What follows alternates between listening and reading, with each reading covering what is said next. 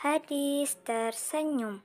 Tabassamuka fi wajahi ahika laka sodakoh. Senyummu di hadapan saudaramu itu sodako bagimu.